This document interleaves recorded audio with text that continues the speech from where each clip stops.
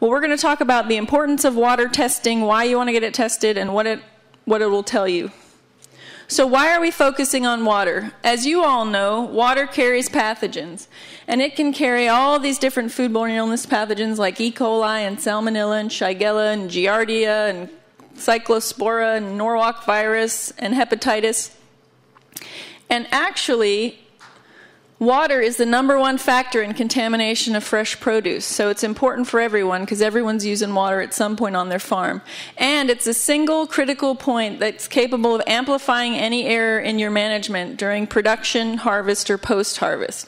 And down here is a good example of this. Whether you're washing things in little five gallon buckets or washing them in a big flume like the guys out in California do, if you have a pathogen in there, anything you put in that bucket is going to get that pathogen on it and it's going to multiply. So, we all know farm water applications can include things like irrigation and pesticide application and frost protection and post harvest handling. Anywhere where water is coming in contact with produce on your farm, you need to know the quality of that water and make sure that it's as safe as possible for your customers. So, water sources. We have various water sources throughout Tennessee. A lot of surface water sources like rivers, ponds, streams, and irrigation ditches. This is a picture of the Cumberland River up here. We also have a lot of wells in Tennessee, especially as you move out west. And then folks that are using municipal water, and we'll talk about all of those. The surface water sources are generally going to be the riskiest and then the wells, depending on your well and the quality of the well, are going to be less risky. And municipal water is guaranteed by your municipality, and by law, it has to be safe for drinking. So that's generally a safe bet. So, surface water. Ponds can easily be contaminated if livestock or wild animals have access to that water. And if you have a pond, it, it's pretty hard to keep any wildlife out of that pond. So there's a good chance that that water can be contaminated. And I'm going to show you some of the results of our water tests, and you'll see that later on. But flooding of the streams and rivers uh, is also a source of microbial and other forms of pollution. And a lot of folks in this room can attest to that from the flood we had here couple of summers ago. Well water sources. Wellhead the wellhead is a place where the risk of potential contamination is high, and it's really important that you have a well that's properly constructed because an improperly constructed well is going to be a source of contaminants to enter. Here's a good example of a well that doesn't have anything on it. As Jim was talking about the cisterns before, we did used to be inoculated and now we're a little more sensitive. We need to take precautions. This one has the cap on the well right at ground level, and that's a good way to also invite contaminants in. You want to have that up off the ground, try to reduce the potential for contaminants to enter your water system. For well integrity, generally you want to divert any runoff away from that wellhead, and your casing should extend 12 to 24 inches above the ground to prevent that contamination. The outside of the casing is going to need to be grouted to a depth of more than 25 feet or more, and the casing is generally surrounded by a concrete pad. It's also important to put as much distance as possible between water sources and your potential contaminants, and that can be a manure pile, it can be a gas tank, it can be the area where you mix your pesticides, and all sorts of things. So you want to think about what you're doing close to your water source and make sure it's not going to be a source of contamination. For municipal water, does anybody recognize this water tower? This is from Loudon, city of Loudon historic water tower there. But generally, municipal water is going to have the lowest risk for contamination, but it's going to have the highest cost, especially depending on how far you have to get it from the source of that municipal water into your field. And by law, water from the municipal system has to be potable. However, a lot can happen between the water source and your field. So if you are using municipal water, the food safety standard is you get the analysis from your municipality, stick it in your food safety plan, but it would also be smart to check it right where it's coming out and going onto your crop because a lot can happen in that pipe from the municipal source to your field. So we're going to talk a little bit about irrigation methods as well. And water quality and how and when it is used and the characteristics of that crop are going to affect your risk. So, examples of increased risks are overhead irrigation versus drip irrigation, because that overhead, if you have pathogens in the water, they're getting all over the edible portion of your crop that's above ground. And then, of course, crops with that edi- edible portion in direct contact with any water are going to be more at risk than crops that don't contact the water. Of course, with drip irrigation, that's less risky, but you're never going to eliminate your risk completely because there's always folks when you're going through the system, you get a leak in your drip system and it's shooting all over your plants. So we're talking about reducing risk, but there are still other factors in there that you can never be 100% risk free.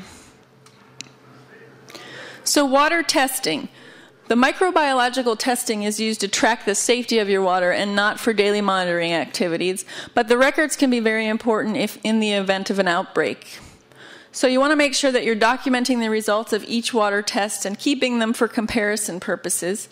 And you want to look at any changes in your results that might help identify problems in your system. So, when do we want to sample? For municipal sources, again, you can just ask your municipality for a copy of the water analysis. And it's also good to sample it again at the point of where it's in contact with the crop. For wells, you want to begin sampling your water about 60 days before you start your irrigation program for the season, and then again during peak use in the season. And for surface water sources, it's generally recommended that you check it before the start of the season, at the peak of the season, and then when you're harvesting your crops. Where do you want to sample? You want to collect the water sample as close to the point of use as possible. So here we have this person right out in the field with the water coming out, and that's where you'd want to collect it if you can. You want to so select a sampling area that's going to be clear of any dense litter or vegetation. How to sample. Generally, if you're working with a lab, they're going to send you or give you the bottles that you need to take the sample in, but you want to make sure that you're using sterile sample bottles. And you want to label that bottle with your farm name, the water source type, so if it's a surface water source or a well or municipal water, the date that you're taking it, and the time of the sample. Because for these water samples, the timing is really critical. You want to make sure that you're getting them to the lab as soon as possible. And there's time limits on how long you can wait to get them there, so that time is important. When you're collecting this, the water from equipment like a well or you, you're turning it on in the field, you want to make sure you're letting that system run for one to three minutes before you sample, and that'll flush out anything that might be right there at the head there. How to sample. Here are a couple examples of sampling out of a pond. If you're sampling a pond, generally it's recommended that you're going to subsample from several different locations around the pond, and you want to make sure you're taking that sample from about one to two feet below the surface of the water. You also want to make sure you're getting out away from the edge of the pond, so you want to be about six feet from the side of the pond as well, or more.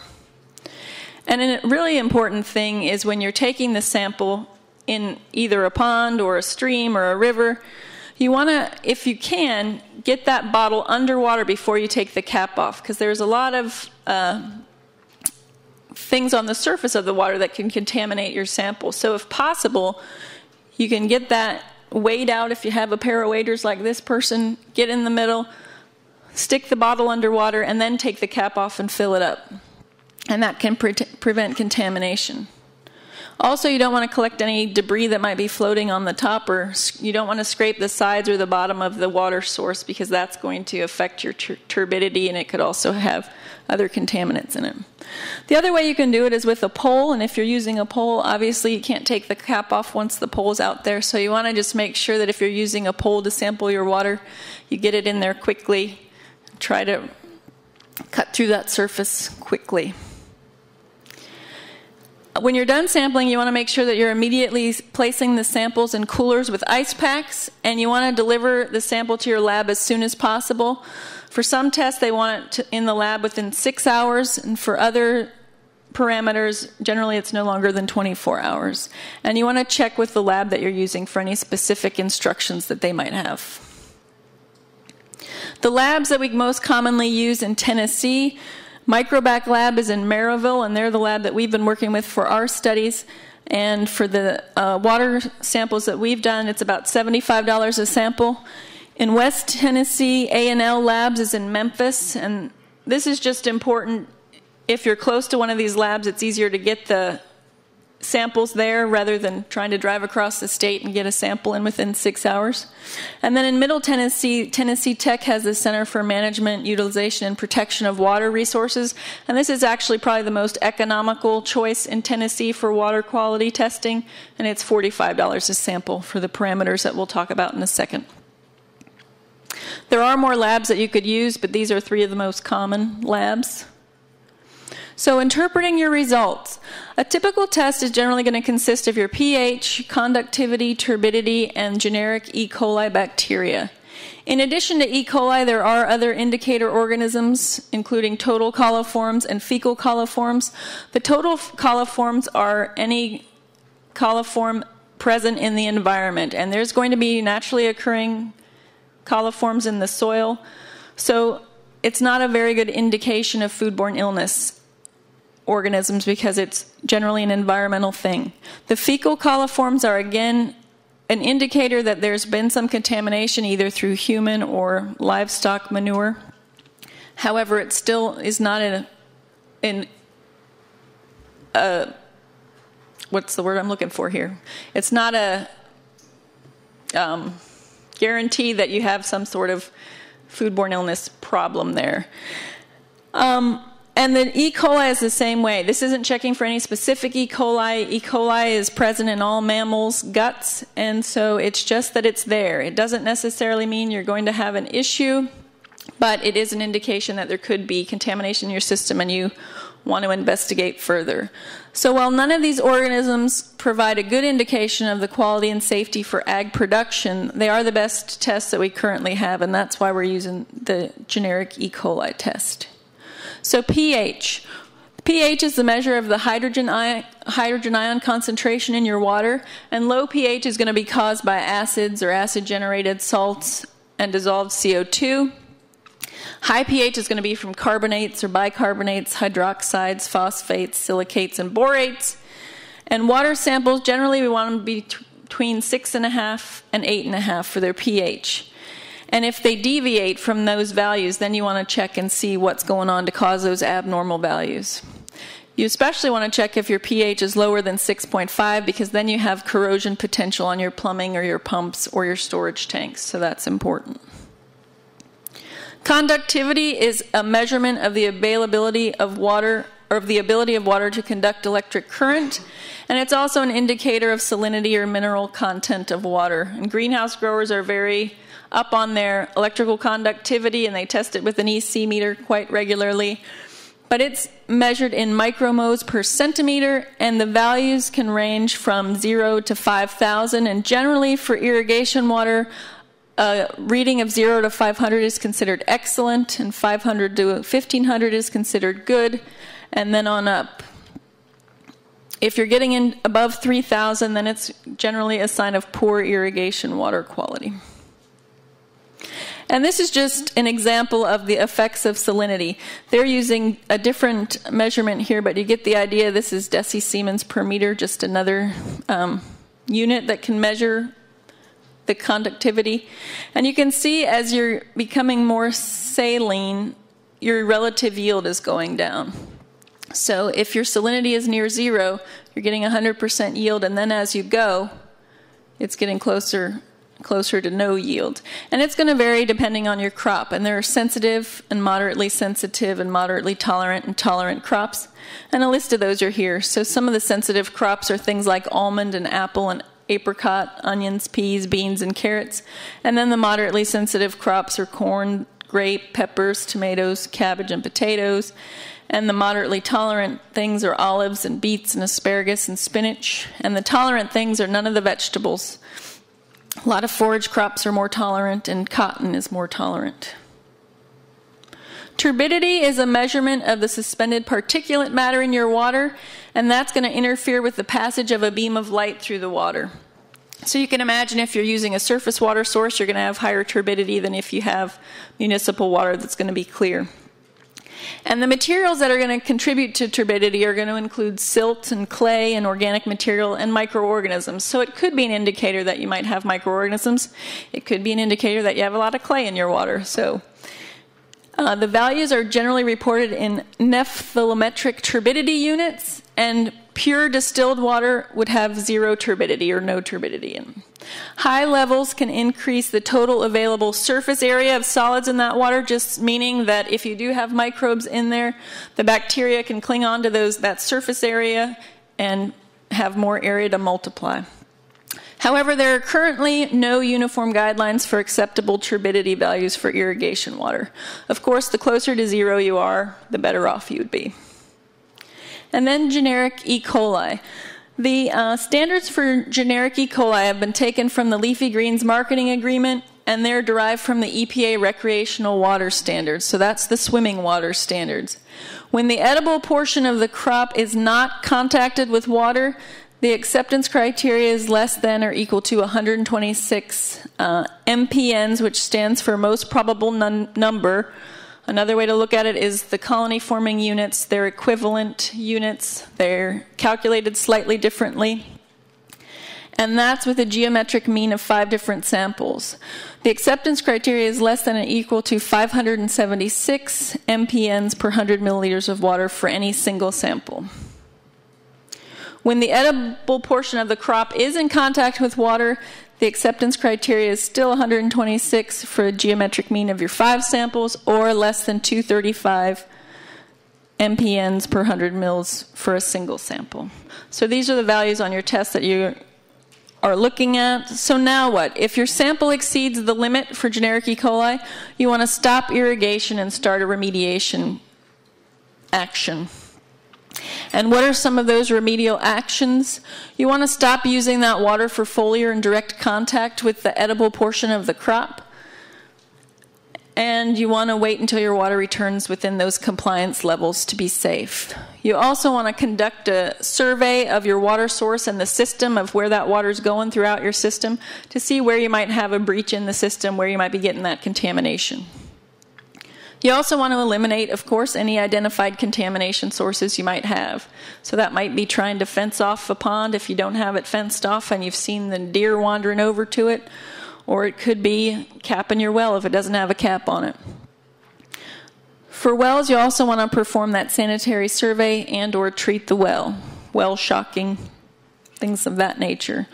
You also want to retest the water as close to the source as possible and at that sampling point after your sanitary survey and take the remedial action. That'll narrow down where you might be getting that contamination in the system. Is it right at the source or is it somewhere within your pipes and before it gets out to your field so you can narrow down where it might be. If any of your samples are over 235 most probable number per 100 mils, you want to repeat that sanitary survey or remedial action until you get those values below that level. And if you don't have an explanation for the contamination, you need to try a more aggressive sampling program in order to figure out what's going on. Oftentimes, if you're using a surface water source, which you'll see in a minute when I show you some of the data from our water tests, it can be that you just had a flood event. If you take, if you have a big rain and you take your sample right after that big rain, you're going to have higher numbers in a surface water source. So now I'm going to talk a little bit about our UT irrigation water quality study, and this is part of the National Irrigation Water Quality Database, which is out of Cornell. And the idea of this survey is to provide a better understanding of water quality that's used for fresh produce production. Anywhere in that chain, from the irrigation and post harvest water uses. And we want to determine the water quality so that any decisions regarding national irrigation water quality standards can be science based that EPA recreational water standard was chosen as the standard from uh, the leafy greens marketing folks, but there's not a lot of science behind that number. So this is trying to get some of the science behind there. What is the irrigation water quality for fresh produce producers across the United States? Are those EPA standards reasonable? Are there other standards we should be looking at? Lastly, we want to provide irrigation water quality data to you, the growers, so that you can make decisions about the use of your water based on its quality and you can be prepared for any third party audits that you might be required to have. So we started this study back in 2010, and we tested 28 irrigation sources from 12 farms across the state. 12 of those were surface water sources, 14 were wells, and 2 were municipal water sources. And we sampled three times throughout the season. And the analysis we used included those terms that we just went over with you the quantified generic E. coli, specific conductance, turbidity, and pH. And of the 84 samples we took in 2010, we found only one sample that was above the allowable colony forming units per 100 mils for E. coli. And this sample was taken from a surface water source and it was shortly after a heavy rain event. So that's what I was talking about. You have a heavy rain in sample, you can find elevated levels of E. coli. And here's the summary of our results.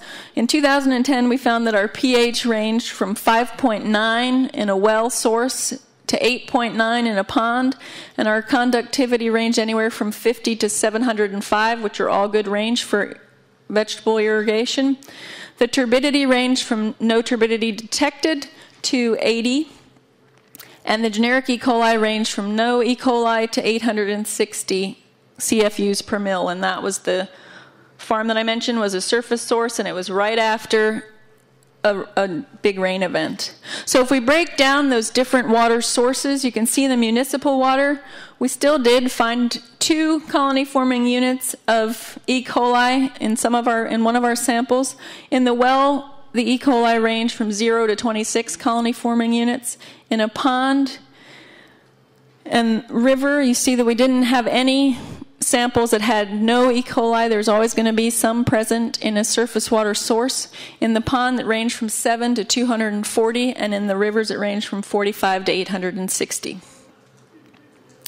In 2011, we tested 30 irrigation sources on 13 farms across the state.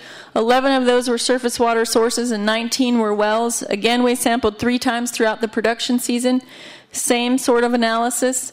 And of those 90 samples that we took, four samples were above the allowable limits for colony forming units of E. coli. And these again were taken from surface water sources. So again, it's assessing that risk and the water that you have available to you. Again, here's our ranges. The pH in 2011 ranged all the way down to 4.3, and this kept coming up. We tested this farm three times, and every time their pH was extremely low and they concluded that it was the uh, makeup of their soil that was causing that low pH, the rocks down deep in the well. Our high was 10.8, and that was again in a pond, and that was one sampling, and that value went down on subsequent samplings. The conductivity range from 45 to 635, so again, good range for vegetable production. Turbidity, low turbidity again, none detected to 60 NTUs. The generic E. coli in 2011 ranged from 0 to 620. Again, again, you see in the well, we had from no colony forming units to 71, and then the surface water sources ranged anywhere from one colony forming unit in the spring up to 620 in streams at various times throughout the season. So irrigation water quality for 2012, we're looking for farms to sample. The sheet's going around. Our sampling is going to begin in April, and we will take three to four samples throughout the season. The samples are going to be analyzed for those same things, quantified generic E. coli, specific conductance, pH, and turbidity. The growers are provided with a copy of all their water testing results to stick in your food safety plan. It's at no cost to you and the results are anonymously added to the National Water Quality Irrigation Database. So you're not identified in any way. If you have higher levels of E. coli, no one's going to come find you and say, hey, you need to do something. It's all between I see it and you see it, and we're the only ones who know. Nobody else knows. And if you give me 20 bucks, I won't tell anybody. So if you're interested, individually. so if you're interested, please sign up on the sheet that's going around or come and talk to me. And I'd be happy to answer any questions either now or later. And if there aren't any questions, we can move on to the next person. Any questions about any of that? All right. Oh, Will.